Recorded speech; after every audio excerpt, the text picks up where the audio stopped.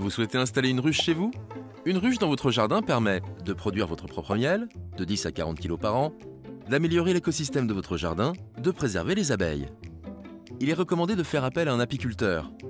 Avant tout, plusieurs réglementations sont à connaître. L'emplacement. Renseignez-vous auprès de votre mairie pour connaître les distances à respecter avec les propriétés privées et les établissements publics.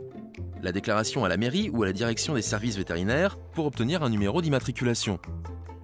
Où placer une ruche?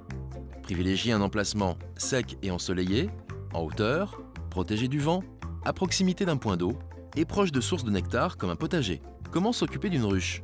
Le calendrier apicole se divise en quatre périodes. De mars à avril, le démarrage des colonies, vérifiez que la reine est toujours là. De mai à juillet, les miellés, récoltés de juin à juillet. De août à octobre, la préparation à l'hivernage, donner du sirop adapté aux abeilles.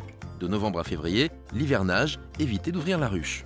Pour vous en occuper sans risque, équipez-vous d'une combinaison, d'un voile, de gants et d'un enfumoir.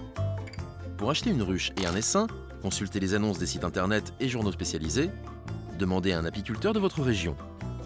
Comptez 60 euros pour un essaim, 200 euros pour une ruche type d'Adam, la plus utilisée en Europe, et 150 euros pour le matériel.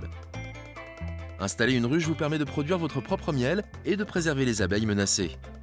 Pour en savoir plus sur l'installation d'une ruche, retrouvez toutes les infos sur eureka.fr.